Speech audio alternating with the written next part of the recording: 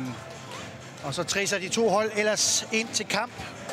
Sønderjyske med mange afbud i aften. Mark Pedersen, Nicky Simling, Simon Poulsen og Søren Frederiksen er selvfølgelig prominente navne udenfor. Desuden er Stefan Gartenmann kommet i karantæne. Og så må man spare Simon Kron, som har lidt problemer. Det er heller ikke brasservær i Haderslev. Den der ligger bedre, så er den der fremragende slået, og det er samme recept. Sten i pandebræsken på Hertebrede Okor. Netop ikke mulighed for at komme ud. Står der ind og gør det kompakt, og så gør han præcis, som han gjorde mod Brøndby. Stiger til værs og hætter den ind, selvom han kommer helt ind i det lille felt. Derinde, hvor man forventer, at målmanden kan komme ud og tage sig af bolden. Ja, den er altså svirpet ind for Rolim. Er den direkte bold mod Pol, som sprinter afsted. Pol ind og afslutte.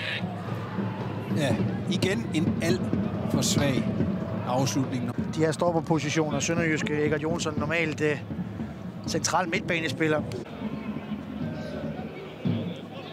Chip ud i, i venstre for Rømer. Og forsøg langt udefra.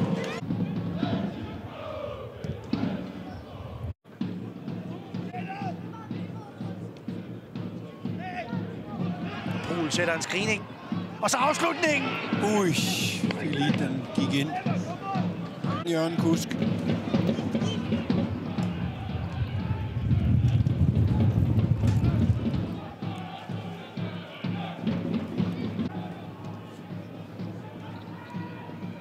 En smule mere tålmodighed, det vil klæde dem. Der er jo ingen grund til bare at bringe den op i første fasen.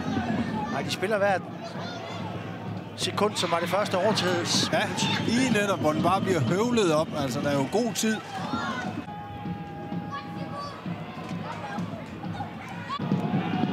Sidste chance. Marfeldt driver den længe. Det nåede han ikke. Ah, meget symptomatisk for Sønderjyske. Og 1-0 til de rød-hvide OB'er. Det fejres altså behørigt. Shores Okor matchvinder med stange et hjørnespark i nettet tidligt i kampen, og det er en uh, top 6 livgivende sejr for OB'erne.